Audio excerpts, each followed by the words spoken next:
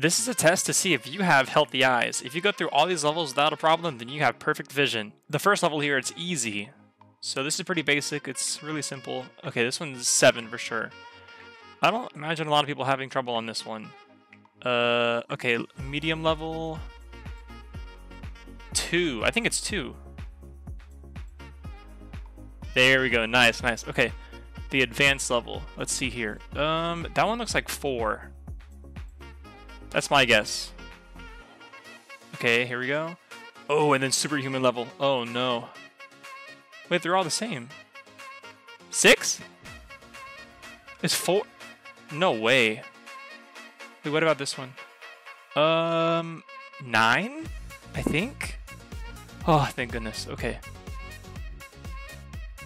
Oh, I'm so lost on this one. This one, I have no, I have no, I could barely tell the difference. How'd y'all do?